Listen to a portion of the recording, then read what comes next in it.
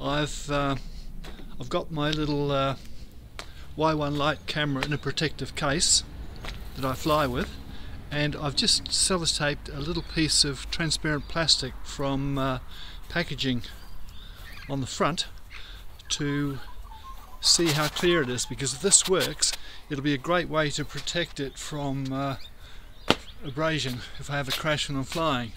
So that's that's what the experiment is today. I've also so this is the kind of plastic I've used to protect the lens.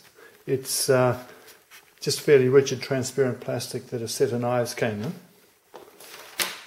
And what I've done here's the little uh, tube that I use to protect the camera. And I've just sellotaped the uh, the lens protector on the front. The interesting thing with this, although the camera I use has got good filtering built in, uh, you could put an old sunglass lens or anything over the top if you want different effects. And here's my favourite camera, the Y1 Lite. Um, this has got a scratch lens on this side. I don't know if it's possible to see it, I'll put, point to it. Over on this side, the lens has got some bad scratches on it. So you can pick it up if you look. I'm waiting for a new lens to come, plus a backup camera. Um, so when I use it, all I do, so I slip it in from this side, and uh, just goes in like that.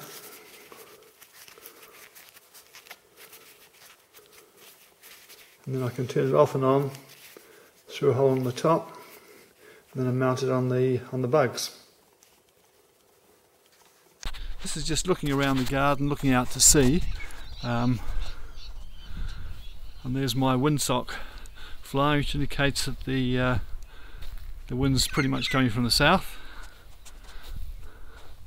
And there's a magpie up on that uh, light stand. No, it's not a magpie. Yes, it is. It's a magpie. I thought it was a crow for a moment. Hiya bird. So the first experiment I did when the microphone wasn't exposed enough, it seemed to do a pretty good job. So I'm just doing a little bit more test footage. I'm aware that this is the camera that's got a faulty lens at the moment, so I'm waiting for a new lens plus a backup camera. Hi bird, you still there? Okay, well this is probably just about enough footage to get an idea of what it's going to look like. Um, Again, when I get a new lens, I'm looking forward to being able to adjust the focus. For flying, I want it on, on distance anyway, I don't need close-up, but it's nice to know that uh, you can screw the lens out and adjust it to whatever focus you want. So, uh, it's part of the continuing episode of Live and Learn. I wish I'd thought of this before I scratched the lens, but uh, hopefully this means the new one will uh, have a better run. So, we will see.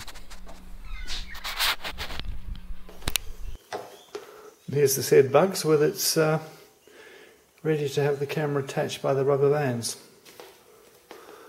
And here it is, attached again. Something I learned with rubber bungee straps a while ago is uh, always use uh, two, so you've got a backup, two, two per side, so you've got a backup.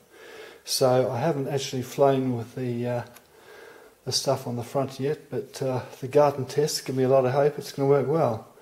The other little thing I've done is I've, I've glued these little legs on here. So the notion is that stops the rubber bands from sliding off.